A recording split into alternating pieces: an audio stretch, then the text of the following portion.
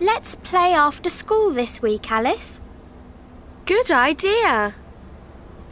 Can you play on Monday? Sorry, no. I have a music lesson every Monday. How about Tuesday? I visit my grandma every Tuesday. Wednesday? Well, I don't have a music lesson, but I help my mum. Thursday? I go swimming every Thursday. Oh dear. Hello, girls. Alice can go swimming with us. Thanks, Mum. Thank you.